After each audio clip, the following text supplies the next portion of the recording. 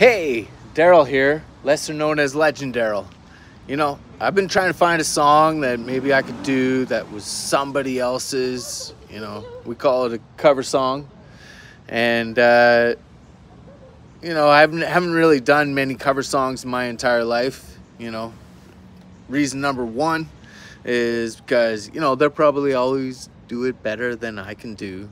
And number two is that, well, hey, I've been trying to search my own authentic, original sound throughout this life. Uh, but, you know, I do understand the merits of doing a cover song.